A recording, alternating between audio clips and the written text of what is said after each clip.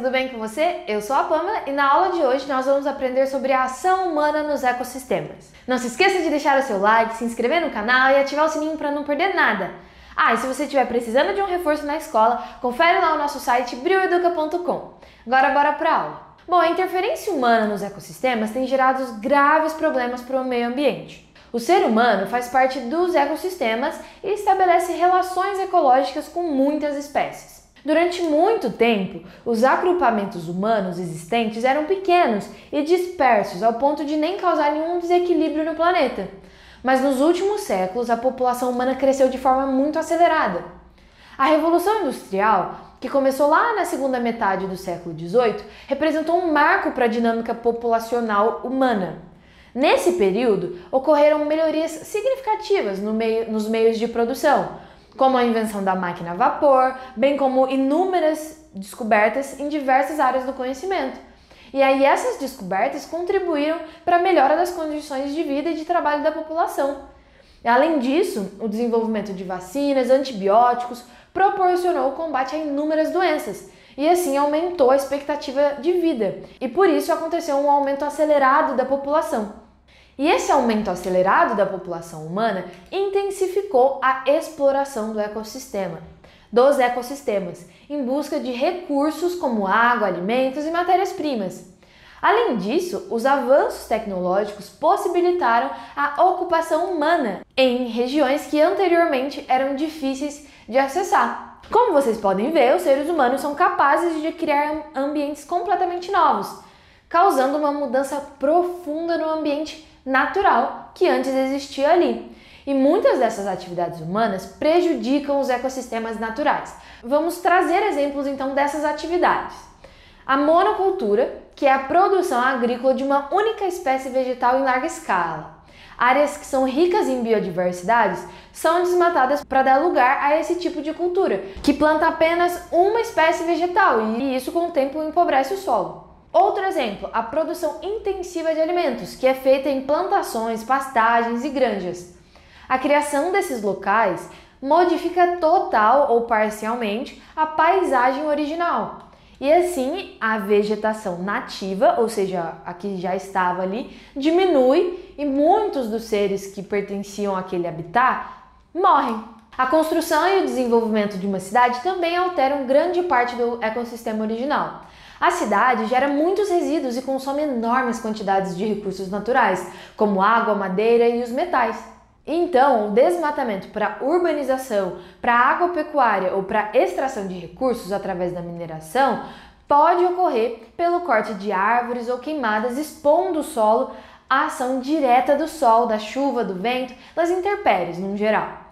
E aí, com o tempo, o solo deixa de ser apropriado para o crescimento da maioria das espécies de plantas, que podem correr risco então de extinção. Outro exemplo é a introdução de espécies exóticas, que consiste em trazer para um determinado ecossistema espécies nativas de outros lugares. Se a nova espécie não encontra predadores naturais no ambiente onde foi introduzida, ou seja, se ela não é inserida em algum momento da cadeia alimentar daquele local, ou se ela se reproduz rapidamente, isso pode colocar em perigo a sobrevivência das espécies locais. Se a nova espécie não encontra predadores naturais do ambiente, ou seja, ninguém se alimentar dessa nova espécie e ela começar a se reproduzir muito rápido, vai existir muitos seres dessa espécie exótica ali no lugar. E aí isso pode trazer um risco para a sobrevivência das espécies locais que já estavam antes dela lá. Outro exemplo é a prática indiscriminada da caça e da pesca, que faz com que a quantidade de animais mortos seja maior que a quantidade de indivíduos naturalmente incorporada nas populações pelo nascimento e migração de novos indivíduos. Outro fator é a contaminação ambiental, que é o conjunto de modificações que prejudicam as condições físicas, químicas e biológicas do ambiente. Além de afetar o solo, o ar e a água, ela pode acarretar problemas de saúde e perda de biodiversidade. Falando de contaminação, a gente também pode citar como atividade que modifica o meio ambiente a poluição do ar, que é gerada principalmente por motores de veículos, indústrias, incineração de lixo e queimadas de campos e florestas. A poluição da água, que é causada pelo lançamento em rios, lagos, mares, o esgoto doméstico, hospitalar e industrial, assim como a drenagem de poluentes provenientes de áreas urbanas e de fertilizantes, ou agrotóxicos e fezes de animais de áreas agrícolas que são despejadas nesses afluentes hídricos.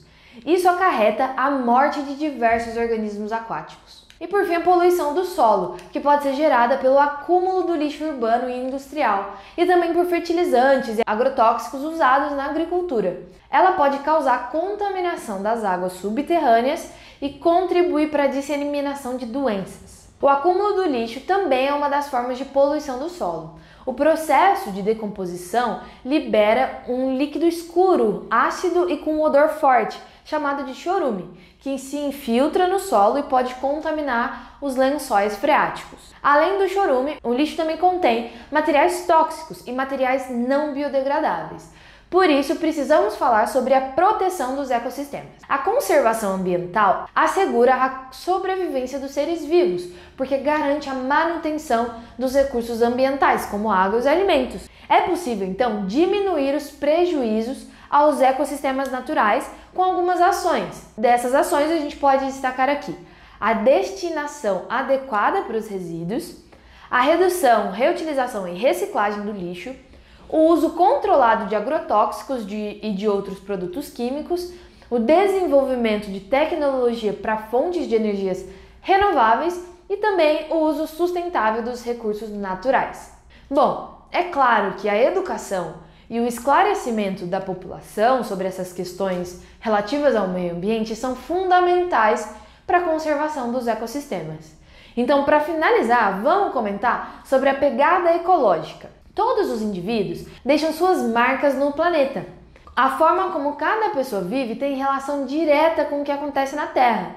Você já parou para pensar que tudo que a gente come, veste ou utiliza no cotidiano é produzido em algum local e demanda algum tipo de tecnologia? Toda matéria-prima tem uma origem e ocupa uma área do planeta. Por isso, dependendo do estilo de vida, a gente contribui mais ou menos com os impactos no ambiente. E por isso a gente deixa as nossas marcas. Essas marcas são chamadas de pegadas no planeta. E você consegue imaginar o tamanho da sua pegada ecológica? Então, só para os curiosos de plantão, tem como calcular a pegada ecológica num site que chama footprintnetwork.org.in. E aí vocês podem dar uma conferida lá. Bom, a aula de hoje era isso. Espero que vocês tenham entendido e gostado. Deixe aí nos comentários um emoji do planeta para eu saber que você gostou e até a próxima.